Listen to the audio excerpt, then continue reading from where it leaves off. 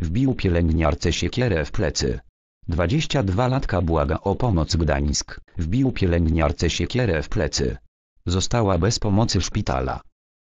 Pielęgniarka z Wojewódzkiego Szpitala Psychiatrycznego w Gdańsku, podczas dyżuru pełnionego w dniu 10 listopada, została uderzona siekierą przez pacjenta, który w nieznany sposób wniósł na teren placówki niebezpieczny przedmiot. 22-latka została wysłana na darmowe zwolnienie lekarskie. Pieniądze na rehabilitację młoda kobieta zebrała w internecie. W szpitalu psychiatrycznym na Srebrzysku pacjent wbił młodej pielęgniarce siekierę w plecy. Jak mógł mieć ostre narzędzie na oddziale i kto za to odpowiada? Młoda dziewczyna była o krok od śmierci, napisał czytelnik na stronie portalu trojmiasto.pl.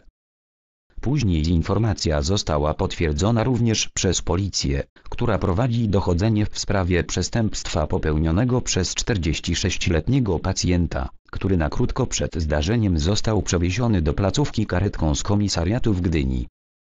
Biegli i lekarz prowadzący ocenią, czy mężczyzna w chwili popełnienia czynu był poczytalny. Bez wynagrodzenia za zwolnienie pielęgniarka w okresie rehabilitacji nie będzie dostawała wynagrodzenia od szpitala z powodu kontraktu, na którym jest zatrudniona. 22-latka świadczy usługi medyczne na podstawie umowy związanej z własną działalnością gospodarczą. W tym konkretnym przypadku zaoferowano także wsparcie psychoterapeutyczne oraz wszelką możliwą pomoc, na którą pani się ostatecznie nie zdecydowała.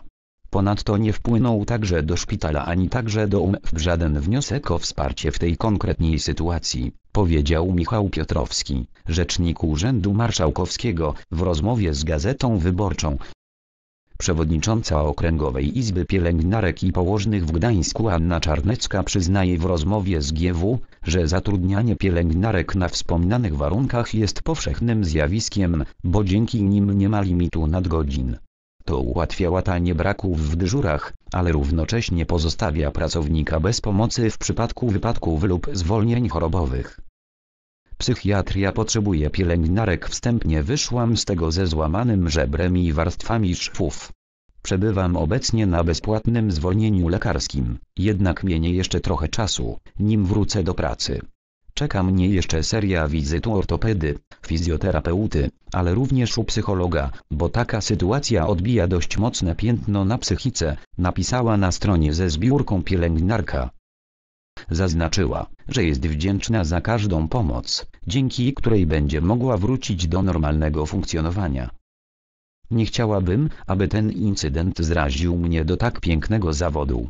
Psychiatria potrzebuje pielęgniarek, dodała kobieta.